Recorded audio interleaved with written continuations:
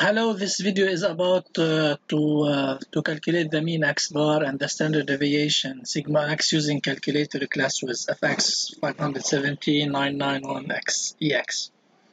At first, to calculate x bar and sigma, uh, of course, you can find calculate you can find x bar and sigma using calculator, and you don't have to use the formula to calculate them.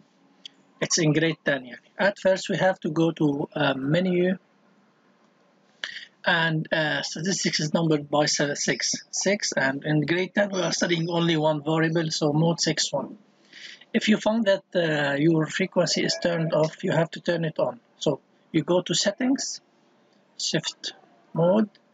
You, you look for the word statistics you can't find here. So you, you go to the other screen you find statistics numbered by 3 frequency on. And that's how you turn on the frequency. And from now on if you didn't reset the calculator, frequency will, will be always turned on. You have to enter the data. The, the values are 15, 15, uh, 14, 15, 16. 14 equal 15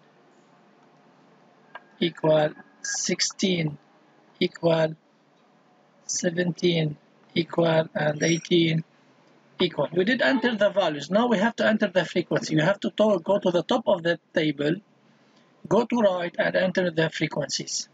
3 equal 8 equal 10 equal 5 equal 4 equal. I'm, I'm entering this table, okay?